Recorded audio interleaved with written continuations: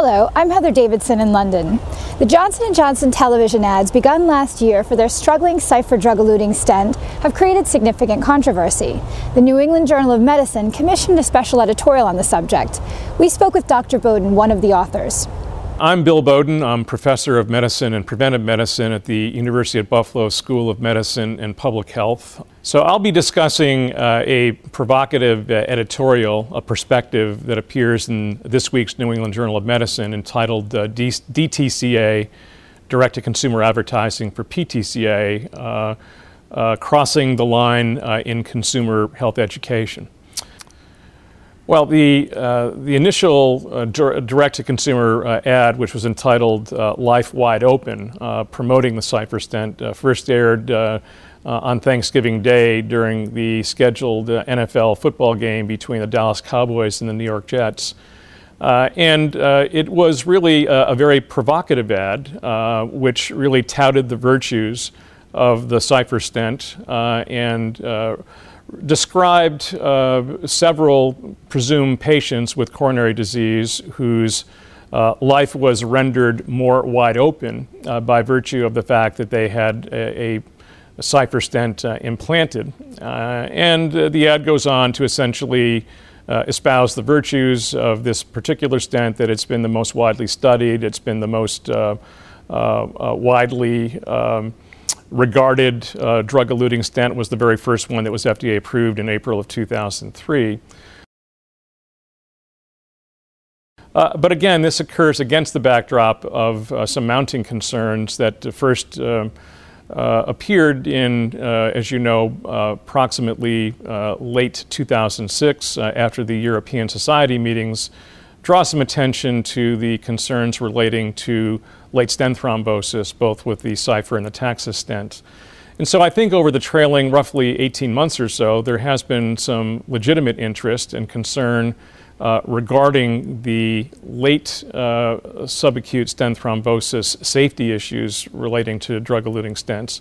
And again, uh, as we also know, uh, there's uh, increased uh, competition forthcoming in the marketplace. that is to say, uh, this year, uh, there has been the recent ap- approval of the new Endeavor stent,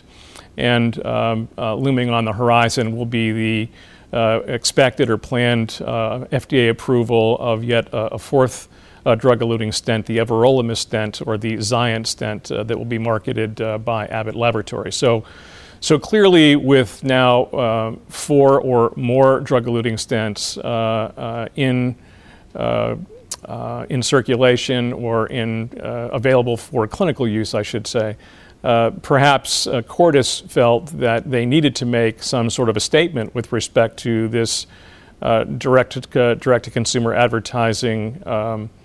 uh, undertaking of the Cypher stent, possibly in order to heighten continued awareness about the importance of their stent, or also perhaps to uh, maintain some visibility within the marketplace given the increasing competition that will be forthcoming. Uh, so, in, in, point of fact, I think we can say that there was uh, actually what I would consider a perfect storm uh, that really involved uh, four separate uh, things that happened within a, a, roughly six to eight month period. Uh, there was the initial disclosure uh, at the European Society Congress of Cardiology in 2006 about the concerns relating to late stent thrombosis with drug eluting stents. Uh, that was followed uh, in December by uh, FDA panel hearings and a closed meeting to discuss the, the importance of these findings from registries that were reported in Europe. Uh, and then in March, early March of uh, 2007, there were five uh, articles in the New England Journal of Medicine devoted to reports of both the randomized trials of uh, Taxus and uh, Cypher stents versus bare metal stents and the registry data obtained both from the United States and Europe. Uh, again, calling attention to some of the concerns or safety issues relating to late stent thrombosis. And then lastly, the Courage trial was published and presented about three weeks later also in the New England Journal of Medicine. So there were, there were four, uh, uh, you know, four developments that occurred within a roughly five to seven month period that I think uh, refocused much attention uh, on the whole issue of uh, the, uh, the efficacy, of course, and the safety of drug eluting stents. Well, I, th- I, think the problem with uh, DTCA for for angioplasty uh, advocating a particular device is is that uh, you know it this is you know very sophisticated medical information that I think is well beyond the ability of the average lay consumer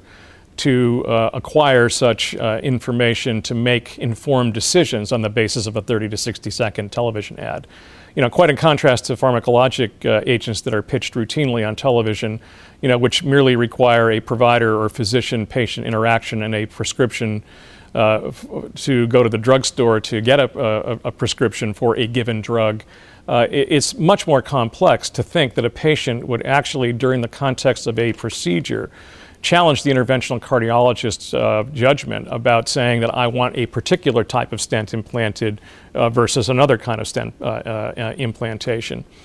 And then perhaps the larger issue is, is the potential for deception in advertising here, because uh, in, the, in the 60 second Life Wide Open ad, um, uh, there's virtually no mention of any of the adverse um, effects or potential. Um, uh, complications, if you will, of uh, stent uh, stenting or stent, stent implantation with or without a Cypher stent, I might add. And that's quite in contrast to the full disclosure that one sees in print ads. And, and again, the FDA statutory requirements uh, uh, mandate that in print ads there must be a full disclosure of all. of all reported side effects or adverse outcomes, whereas in a broadcast ad, the statute is much less restrictive uh, and, in essence, uh, results only in the manufacturer uh, briefly mentioning selected uh, safety data. Uh, but they must in turn direct the viewer uh, or the reader to a website or to some other source of information for complete product information that would, you know, that would provide a full disclosure of all adverse events.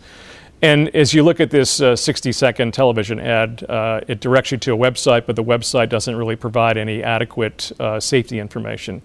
So, you know, this raises the issue of, of whether the Life Wide Open uh, Cypher Stent ad uh, really is in keeping uh, with the spirit and the letter of the laws promulgated by the FDA, and whether this really represents a a fair and balanced advertisement uh, to healthcare consumers who really have a right and expectation uh, to really know the full uh, spectrum of risks and benefits, pros and cons of a given device.